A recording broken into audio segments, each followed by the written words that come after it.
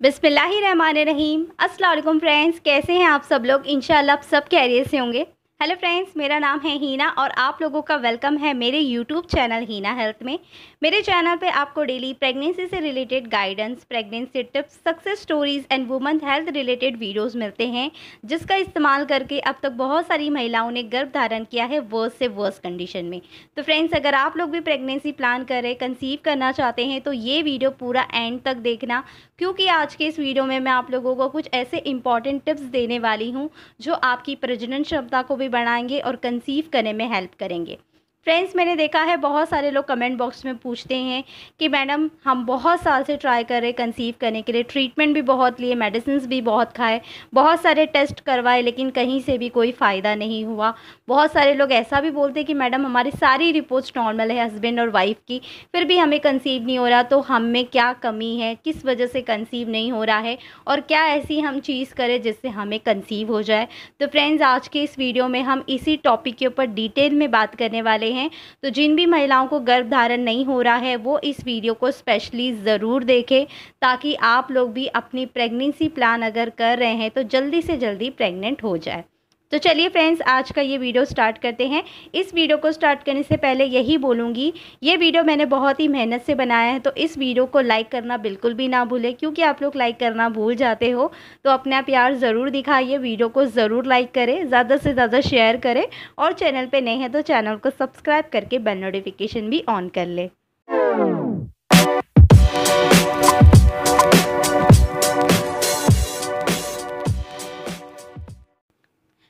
आज के इस वीडियो में हम विटामिन डी के बारे में बात करने वाले हैं, जो भी महिलाएँ कंसीव करना चाहती हैं। तो मैंने बहुत सारी महिलाओं के अंदर ऐसा देखा है, विटामिन डी की कमी के कारण भी जो है कंसीव नहीं होता है। फ्रेंड ये बहुत ही मेन और इंपॉर्टेंट पार्ट है, इसको जो है इग्नोर बिल्कुल भी नहीं करना है।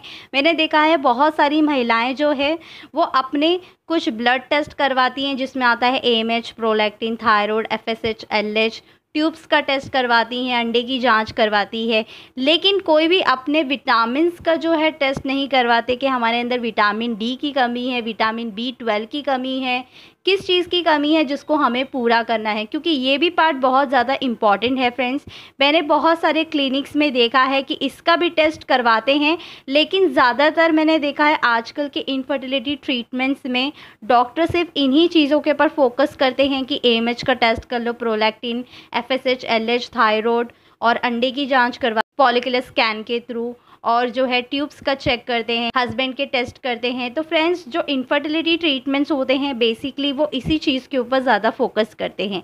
लेकिन फ्रेंड्स जो हमारी बॉडी के अंदर विटामिन की ज़रूरत होती है, अगर हमारी बॉडी के अंदर कोई भी एक विटामिन की कमी होगी स्पेशली विटामिन डी की तो भी आपको कंसीव करने में प्रॉब्लम्स आ सकती हैं, भले ही आपकी सारी रिपोर्ट्स नॉर्मल हो, सब कुछ आपके अंदर प्रॉपर हो। तो फ्रेंड्स जो भी लोग कंसीव करने के लिए ट्राई कर रहे हैं, बहुत साल से वो कंसीव नहीं कर पा रहे हैं। तो सबसे पहले विटामिन डी की कमी आपको है क्या, इसको देखिए। आप जो है इसको देखने के लिए कुछ लक्षणों के द्वारा भी देख सकते हैं, या फिर डॉक्टर के पास जाके इसका टेस्ट भी अपना कर सकते हैं। ब्लड टेस्ट के थ्रू आपको ये पता चल जाएगा कि आपकी बॉडी के अंदर विटामिन डी की कमी है क्या नहीं। क्योंकि फ्रेंड ये जो पार्ट है, इसको इग्नोर करने वाला बिल्कुल भी पार्ट नहीं है। जिन भी महिलाओं को कंसीव नहीं हो रहा है, उनको विटामिन डी की ज़रूर ही अपनी जाँच करवाना चाहिए। मैं यहाँ पर आप लोगों को एग्ज़ाम्पल देना चाहती हूँ फ्रेंड मेरी एक फ्रेंड है जो पाँच साल से ट्राई कर रही थी कंसीव करने की। उनकी सारी रिपोर्ट्स नॉर्मल थी, फिर उन्होंने जो है मुझे बताया कि मुझे ऐसी ऐसी प्रॉब्लम है, मुझे कंसीव नहीं हो रहा है। तो मैंने उनको बोला कि आप एक बार अपना विटामिन और डी जो है उसका टेस्ट करवाइए, क्योंकि उनकी जैसी हालत थी, जैसे उनके अंदर जो सिम्टम्स मुझे नज़र आ रहे थे तो मुझे ऐसा लग रहा था कि उनके अंदर विटामिन डी की शायद कमी हो सकती है। तो मैंने उनको कहा, अपना विटामिन डी का जो है टेस्ट करवाओ और leg of the wall position try करो ओवुलेशन के डेज़ में। तो फ्रेंड्स, उन्होंने अपना टेस्ट भी करवाया, विटामिन डी की सच में कमी थी। उन्होंने जो है उसके सप्लीमेंट्स लिए, साथ ही में ओवलेशन डेज़ में leg of the wall position try किया। पाँच साल के बाद में उनको नेचुरली कंसीव हो गया, वो भी एक महीने के अंदर अंदर तो फ्रेंड्स ये वीडियो बनाने का सिर्फ़ एक ही मकसद है कि आपको मैं इस बारे में भी नॉलेज ज़रूर दूँ कि आप लोग जो अपना इनफर्टिलिटी ट्रीटमेंट करवाते हैं, भले ही आप इतने महँगे महँगे टेस्ट करवाते हैं, लेकिन आप विटामिन डी का टेस्ट बिल्कुल नहीं करवाते और ये देखते भी नहीं हैं कि हमारे अंदर विटामिन डी की कमी है या नहीं, या फिर कभी कभी डॉक्टर्स ही आपको नहीं बोलते कि इसका टेस्ट करवा लो। अभी मैं आप लोगों को कुछ ऐसे कॉमन सिम्टम्स बताऊँगी जिससे आप घर बैठे ही पहचान सकते हैं कि कि आपको विटामिन डी की कमी है और अगर आपको ऐसे कोई भी सिम्टम्स नज़र आते हैं तो तुरंत डॉक्टर के पास जाए और इसका टेस्ट करवा के देखें कि सच में आपको विटामिन डी की कमी है क्या। और अगर है तो इसके आप सप्लीमेंट्स लेके, इसके रिच फ़ूड आइटम्स खा के भी आप इसकी कमी को दूर करके कंसीव करने के लिए ट्राई कर सकते हैं। अभी मैं आपको कुछ कॉमन सिम्टम्स के बारे में बताती हूँ, जिसमें आता है बार बार बीमार होना। अगर आप बार बार बीमार होते हैं, आपको कोल्ड होता है फ्लो हो जाता है तो ये भी एक रीज़न हो सकता है कि आपकी बॉडी के अंदर विटामिन डी की कमी है और जो सेकेंड है, वो है इन्फेक्शन जो महिलाएँ होती हैं, उनको बार बार जो है यूरिनरी ट्रैक्ट इन्फेक्शन हो जाता है। तो ये भी एक रीज़न हो सकता है कि आपके अंदर विटामिन डी की कमी है। और जो है थर्ड है, वो है थकान. आपको बार बार थकान सा फील होगा। कमर में दर्द रहेगा, पीठ में दर्द रहेगा, जहाँ पे जोड़ जोड़, जहाँ पे जोड़े होते हैं, वहाँ पे भी दर्द आपको हो सकता है। जहाँ पे जॉइंट्स होते हैं, वहाँ पे एक्सट्रीम पेन होता है तो ये भी हो सकता है कि आपके अंदर विटामिन डी की कमी है। बहुत सारी महिलाओं को डिप्रेशन की भी शिकायत होती है तो ऐसी महिलाओं में भी विटामिन डी की कमी बहुत ज़्यादा पाई जाती है। तो अगर आपको भी डिप्रेशन फील होता है तो विटामिन डी का टेस्ट ज़रूर करवाए। बोन लॉस यानी कि हड्डी जो है, बहुत ज़्यादा कमज़ोर हो जाती है जिनके भी अंदर विटामिन डी की कमी होती है। हेयर लॉस एक्सट्रीम होता है। फ्रेंड्स जिन भी महिलाओं के अंदर स्ट्रेस बहुत ज़्यादा होता है, बहुत ज़्यादा स्ट्रेस लेती है, चाहे वो घर के काम को लेकर हो या फिर ऑफ़िस के काम को लेकर हो तो उनके अंदर जो हेयर लॉस है, वो बहुत ज़्यादा एक्सट्रीम हो जाता है। लेकिन यहाँ पे विटामिन डी की डेफिशिएंसी भी बहुत बड़ा रोल प्ले करती है हेयर लॉस करने में। तो अगर आप लोगों को बहुत ज़्यादा एक्सट्रीम हेयर लॉस हो रहे हैं, अगर थोड़े बहुत हो रहे हैं तो ठीक है, लेकिन एक्सट्रीम हो रहे हैं तो ये भी एक रीज़न हो सकता है कि आपकी बॉडी में विटामिन डी की डेफिशिएंसी है। और जो लास्ट है वो है मसल्स पेन आपके अंदर मसल्स पेन भी हो सकते हैं, लेकिन यहाँ पे फ्रेंड्स ये एविडेंस नहीं है कि ये विटामिन डी की वजह से हो रहा है. बहुत सारे कारणों से भी मसल्स पेन होते हैं, लेकिन बहुत सारे लोगों में ऐसा पाया गया कि जिन भी लोगों को विटामिन डी की डेफिशिएंसी होती है, उनको मसल्स पेन ज़रूर होता है.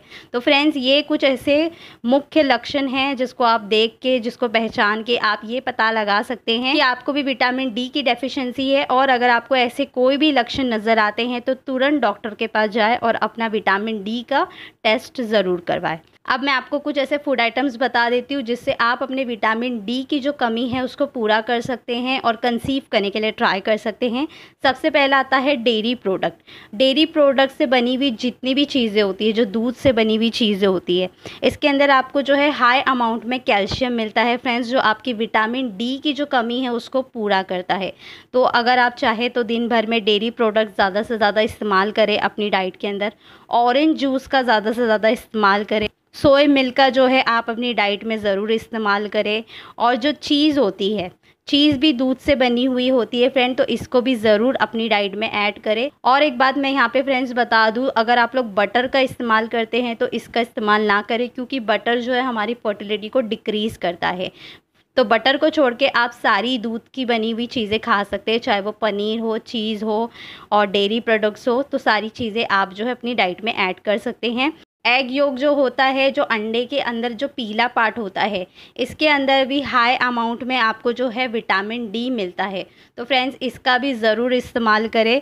बीफ लीवर जो होता है, उसमें भी आपको हाई अमाउंट में विटामिन डी मिलता है तो इसका भी ज़रूर इस्तेमाल करें। और कुछ ऐसी फ़िश होती है, जिसमें आते हैं मैक्रिल सैलमन लेकिन ये बहुत ही महँगी होती है। लेकिन अगर आप इसका इस्तेमाल करना चाहते हैं तो कर सकते क्योंकि इसमें भी आपको विटामिन डी बहुत भरपूर मात्रा में पाया जाता है। जिन भी लोगों को विटामिन विटामिन डी की डेफिशिएंसी होती है, वो अधिकतर लोग ऐसा करते हैं कि अपनी डेली लाइफ में डेयरी प्रोडक्ट का इस्तेमाल ज़्यादा नहीं करते, ज़्यादा मछलियाँ नहीं खाते, जिस वजह से उनको ऐसी प्रॉब्लम्स फेस करनी पड़ती हैं। तो फ्रेंड्स मैंने आपको आज के इस वीडियो में ऐसे मुख्य सिम्टम्स बता दिए, जिससे आपको विटामिन डी की डेफिशेंसी पता लगा सकते हैं। और कुछ ऐसे फ़ूड आइटम्स बताए हैं, जिससे आप अपनी विटामिन डी की डेफिशेंसी को जो है बहुत ही जल्द पूरा कर सकते हैं।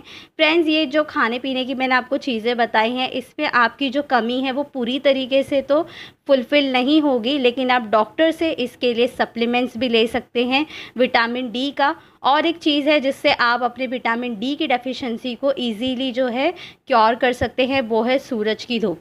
जब भी, सुबह में आप वॉक के लिए जाते हैं तो सुबह की जो पहली धूप होती है उसको आप ले लीजिए इससे भी आपको जो है विटामिन डी मिलता है। और बहुत ही अच्छी मात्रा में मिलता है।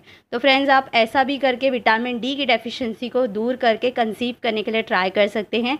तो फ्रेंड्स मैंने जैसे आपको शुरू के पार्ट में बताया कि विटामिन डी की डेफिशिएंसी को अवॉइड बिल्कुल भी नहीं करना है।